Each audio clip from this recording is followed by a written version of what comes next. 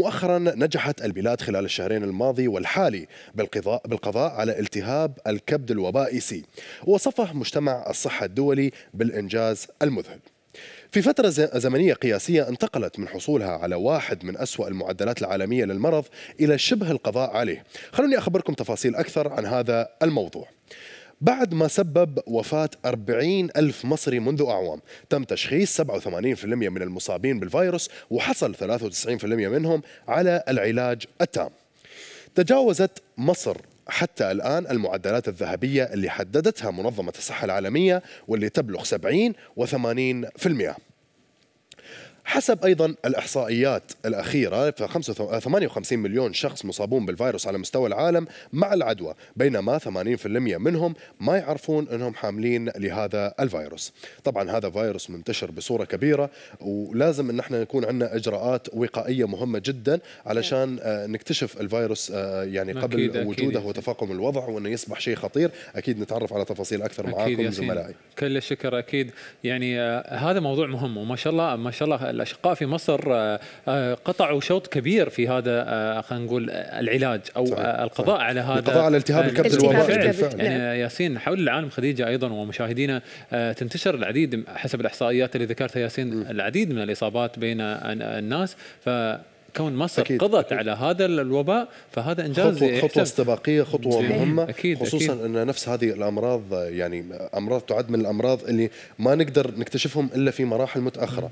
وبالتالي الفحوصات المبدئية الفحوصات اللي نسويها من قبل هي المهمة علشان نكتشف نفس أكيد. هذه الأمراض. ودائما نقول إن الوقاية خير من العلاج. في طرق أكيد. أيضا للوقاية من التهاب الكبد الوبائي وكلنا عارفين إن يعني مثل هذه الأمراض أمراض خطيرة جدا ونتمنى إن شاء الله الله يشافي الجميع منها. آمين. والله يبعدهم لهم أكيد يبعد هذه الأمراض. يعني دوم دوم دوم يعني الفحص الدوري. آه، الفحص الدوري أكيد دائما ما آه، خلينا نقول مهم. يكشف عن الأمراض صحيح. اللي نحن ما نقدر نكتشفها بالأعراض. أكيد ياسين كل الشكر. بنناقش ويا مشاهدينا وضيفنا أكيد مع ضيفنا اللي بينضم لنا من مصر دكتور خالد أمين عضو نقابة الأطباء في مصر. يا مرحبا وسهلا فيك يا دكتور. أهلا بك يا فندم. أهلا بحضرتك واهلا بكل المشاهدين. يعني في البداية خليني أبارك أبارك لمصر على هذا النجاح ويعني قضاء قضيتوا على هذا المرض ما شاء الله عليكم وما قصرتوا لكن ما هي الإجراءات المتبعة اللي ساعدت بالقضاء على هذا الفيروس على هذا الفيروس الحقيقة آه يعني أنا طبعا اولا بشكرك طبعا على المباركه دي والحقيقة ده كان من المجهودات الكبيرة جدا لو لو حسبنا مثلا من الإنجازات اللي اتحققت خلال 100 سنة ورا مثلا هتلاقي إن ده حاجة من الحاجات المهمة جدا اللي حصلت في مصر. صحيح. ضحايا المرض ده دول كانوا بالآلاف بل أحيانا كتير جدا على مدى عقود كانوا بالملايين. أنا والدي وعمي اثنين من الضحايا دول توفوا بنتيجة مضاعفات هذا المرض الله يرحمهم. كتير جدا من الناس كتير جدا أعرفهم. لغاية ما بدأت الحملة القومية المبادرة اللي آه البلد كلها اشتغلت فيها على كافة المستويات كافة الأجهزة كافة الوزارات. الحقيقة كان في حتى كمان يعني جهود شعبية في محاولة القضاء على هذا المرض والحمد لله نجحت الجهود دي. الحكاية بدأت بين مبادرة برئيس الجمهورية بمساعي من وزارة الصحة لتوفير علاج كان بدأ إن هو يظهر في دول العالم وكان موجود في معظم دول العالم بس بمبالغ كبيرة جدا.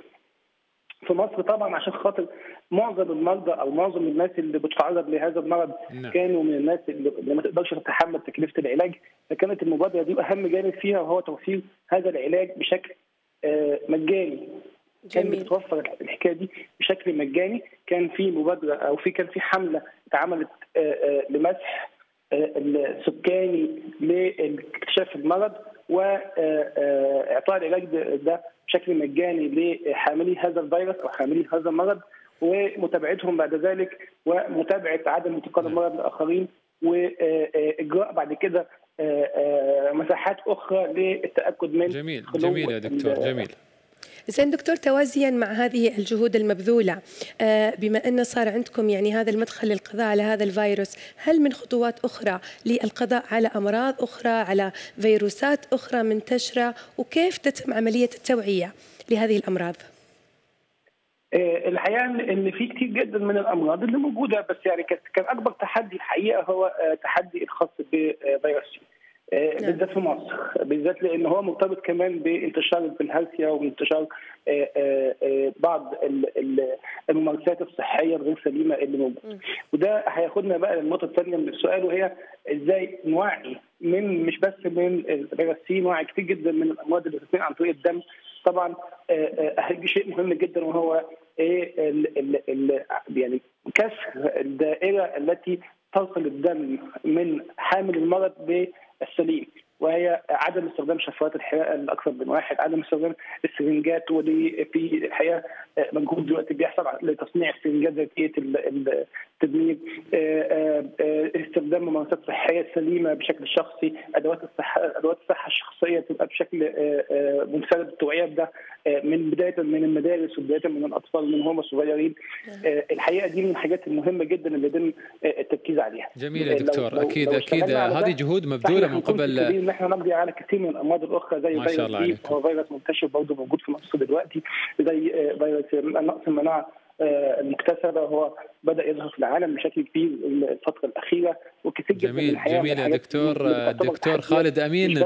أكيد بذلتم العديد من الجهود لحتى وصلتوا لهذه المرحلة وقضيتوا على هذا الفيروس. والحمد لله أنتم ما شاء الله عليكم عندكم طاقم طبي يعني خلينا نقول مصر مشهورة في الطب والاختصاصات الموجودة عندها. فأنتم حاربتوا على مدى 100 سنة إلين وصلتوا هذه المرحلة. فألف مبروك على هذا النجاح. طبعا دكتور خالد أمين عضو في نقابة الأطباء في مصر. شكرا جزيلا. لك على هذه المداخلة.